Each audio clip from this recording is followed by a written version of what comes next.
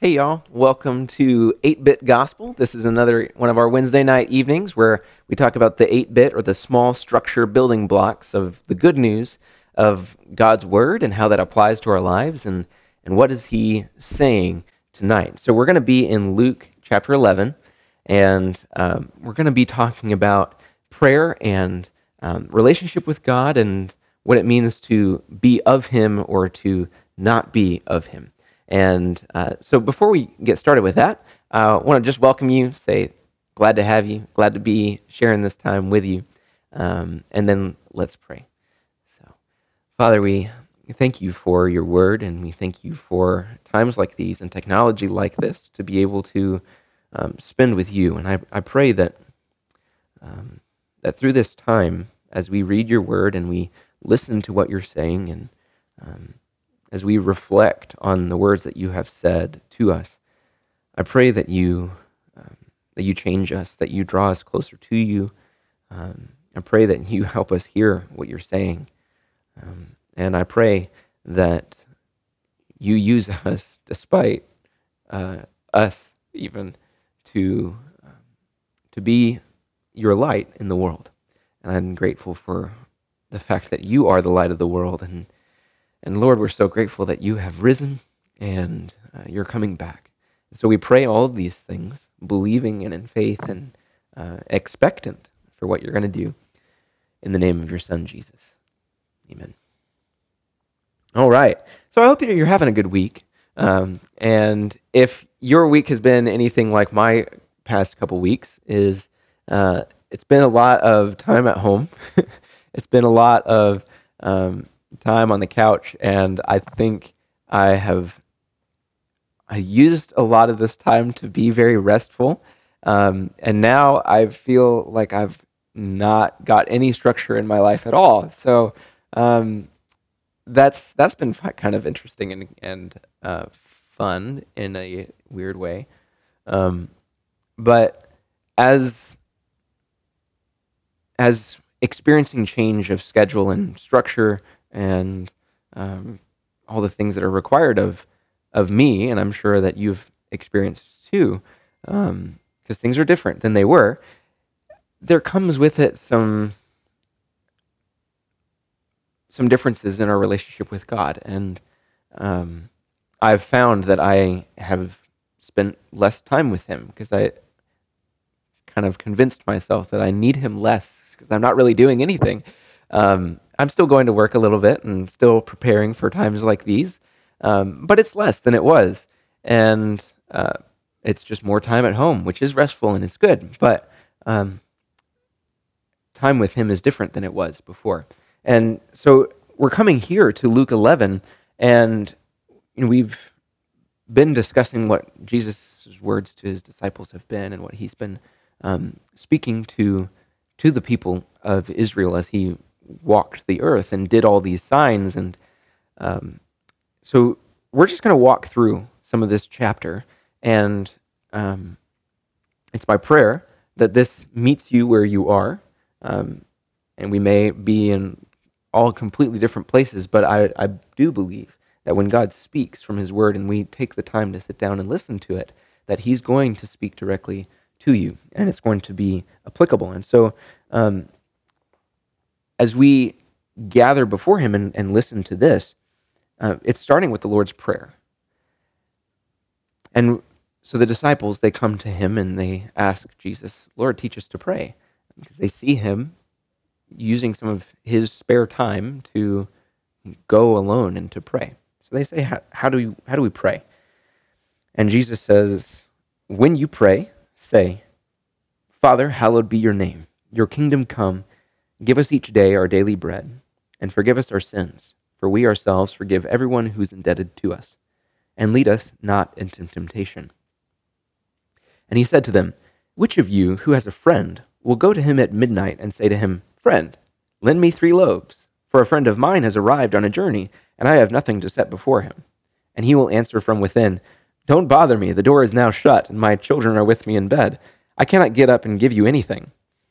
I tell you, though he will not get up and give him anything because he's his friend, yet because of his impudence or because this person at the door keeps knocking and saying, Hey, uh, get up, give me some bread. Uh, it's because of his impudence he will rise and give him whatever he needs. And I tell you, ask and it will be given to you. Seek and you will find. Knock and it will be opened to you. For everyone who asks receives, and the one who seeks finds, and the one who knocks it will be opened. What father among you, if his son asks for a fish, will instead of a fish give him a serpent? Or if he asks for an egg, will give him a scorpion? If you then, who are evil, know how to give good gifts to your children, how much more will the Heavenly Father give the Holy Spirit to those who ask him? So we'll pause there for, for a moment and um, reflect on what he said. So he, he teaches them how to pray, saying, Father, hallowed be your name, your kingdom come, your will be done. Um, give us this day every, our daily bread and everything that we need for tomorrow. Um, and forgive us our sins as we ourselves forgive everyone who's indebted to us. And lead us not into temptation. And then he gives this really odd story of someone who gets up in the middle of the night and goes to their neighbor's house or their friend's house and knocks on the door saying, Hey, some person I wasn't expecting has come and I don't have anything to feed them. And I need you to give me some bread. And the friend's like, nah, bro, come in the morning. This is, it's midnight. It's two in the morning. Why am I going to get up and give you bread? No. Uh, but because he continues to knock and say, help me, help me, help me, then his friend's going to get up and give him what he's asking for. And uh, then he says, look, even if you who are evil, even if you who make mistakes and are, are struggling as parents or as a person, like if you'll still give good gifts to those people that you love, of course, God in heaven is going to give good gifts to his people. And it says, of course, he's going to give the Holy Spirit to those who ask him.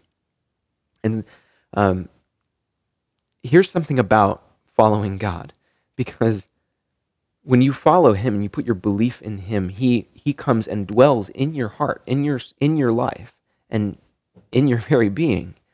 Um, he is with you and gives the counsel, gives the gives his power from on high to dwell within you.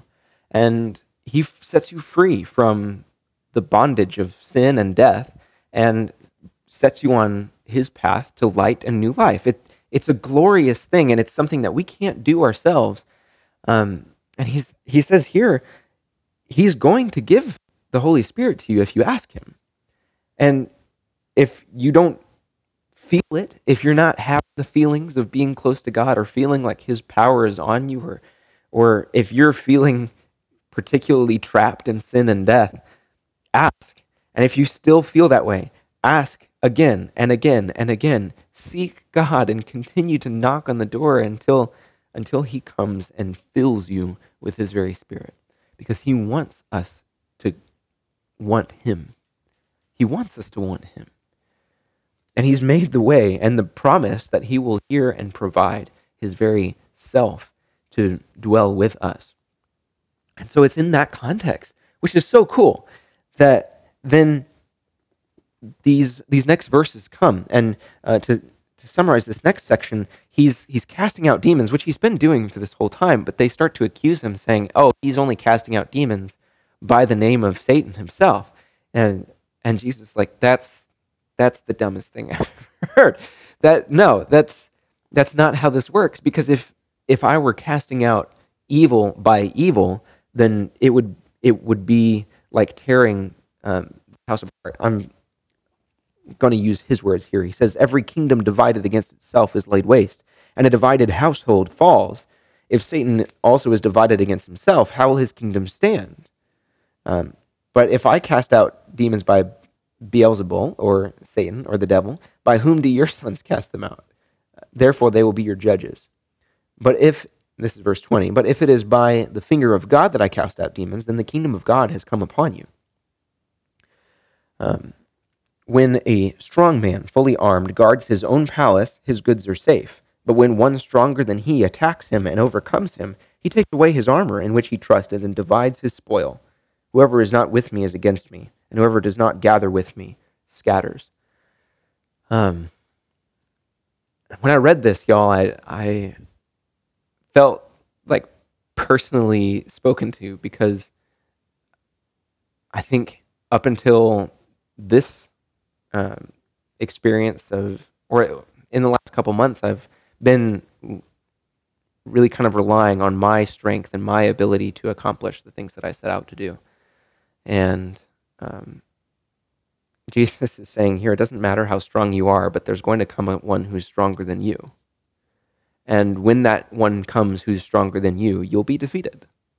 It's just that simple. The stronger the one wins. And you should be aware of that. And and then he follows that up to say, look, if you're not with me, you're against me. And if you do not gather with me, you're going to scatter. And you're going to not have that strength to rely on. Jesus is the strongest. He defeated death. He created all of life in the world. He, he is God. There's no one stronger than him. And he's saying if, if you want to put your trust in strength, let it not be your own strength, but let it be him. Let it be him. Um, and then he goes on talking about the unclean spirit. And if, if, if you're freed from this spirit, it'll leave, it'll go into all these different places, and then it'll come back and find the home that it used to be in swept and made clean. And then it'll say, Oh, I'm going to go get some friends. And it goes and gathers seven others and comes back. And then the person is now in more bondage than they were before. And I don't know about you, but I've experienced that to be very, very true in my life. Is it, if I rely on my own strength to keep me safe, then sometimes it comes back. Um, the the things that I struggle with. Paul describes them as the thorns in the flesh, or um, or the temptations, or of the world, or the pride of life, and all the things that it means to be human and to struggle with, and and it's difficult to follow God. Um, but He says, "Return to me, and I'll return to you," says the Lord of hosts. Um, and he is the strongest one to rely on. He says further in, in verses 29 through 32, to summarize that for you, is that these people continue to come to Jesus saying, Give us a sign, give us a sign, give us a sign, so that we know that you're God's, that we know that you're strong enough and powerful and, and worthy of our trust and worthy of our hope. And he's like, How many more signs do I have to give you? Blessed are those who um, have not seen and yet believe, he tells Thomas. And here he says, You'll have nothing other than the sign of Jonah. And we're going to stop here uh, today because it's so pertinent to where we are right now, just after Easter. He says, You will not be given a sign other than the sign of Jonah. What does that mean? The sign of Jonah to the Ninevites was that there were three days of, um, of darkness for Jonah and then the return to the light and the salvation was promised. And Jonah came and preached to the Ninevites, saying, Repent and turn to God because judgment is coming and he's going to destroy your entire city. And Jonah mm, was preaching this from experience, saying God had told him to go do this thing and he ran away from God and this you know fish swallowed him up and he was in this tomb of death for 3 days and then spit out with this message of of salvation and and repentance and humble or hum, humbleness? Humility before God right? Humility before God. And so if the sign of Jonah that Jesus is telling these people has been given to them Jesus came and served. We heard that on Sunday. He served every person, he loved them. Then he even willingly was killed by them, by, by us, even for the sake of our own sin. And he was dead for three days. And then he rose again and defeated death, proving that he is stronger than it that he is all powerful and that the salvation he's promised is certain. We don't have to look for any other sign. We don't have to look anywhere else. When we're seeking freedom and security and stability in times where we don't feel secure or st- stable or um, where we don't know what to do at, or what to feel or, or what's next or any of these things. So that message is the same message to you tonight is come, put your faith and your trust in God. Seek him and ask for him to enter into your life and he'll save you. He will. And not just will he save you in this life, but he'll save you with eternal life. And that's the glorious promise that our God gives to us tonight. Thank you for listening. This is the good news of the gospel, and I pray that um, that you hear these words and let them sink in deep, and that you do not stray from them. But it's also my prayer that uh, when you do, that you will have prayed until then, that when that day comes, that he will be right there with you, so that when when the enemy comes and attacks, you can remember his promise, saying, "I will never leave you or forsake you," and that he who has won the victory is with you still. Um, praise the Lord for that being the truth. So let's pray, and then we'll be done. So, Lord, we are thankful for your word and how you speak and this message of hope that you've given tonight. And I pray that you, you reach into our lives, Lord, and, and I, hmm, I pray tonight that that you draw us to yourself, that you show us um, show us your goodness and show us yourself. Lord, I want to see you, and I want to be near you, and I want those who are watching this to see you and to be near you. And that's why we're doing this. And Lord, the truth is we need you. I know that I even need you to want to be near you. and I wish that I could want to be near you all the time. And sometimes that feeling is just not there. So, Lord, I, I pray that you even come now and ignite your fire in all of us that we can that we can know you more. And if we don't know you, if we've never put our trust or our faith in you, it, if someone watching this tonight or listening hasn't, Lord, uh, I pray that you that you save their souls and show them your power. I'm grateful that for those who have put their faith in you and for those who haven't yet, that you've given this, this path, this, this guide to say, pray this. Our Father in heaven, holy is your name. Your kingdom come. Your will be done, not mine, on earth as it is in heaven. Give me today my daily bread, everything that I need, which is which is you, and I have needs. Please provide for me today. Give us this day our daily bread and, and forgive us our trespasses. Forgive us where we've failed. Forgive us where we've strayed from you. And um, forgive us as we forgive other people. It can be a tall order, I, I know. Um, and lead us not to, into temptation, Lord, but deliver us from evil, because yours is the power and the glory forever. You're God. You're all powerful. And I trust you. We pray all these things in the name of your Son, Jesus. Amen. Amen and amen.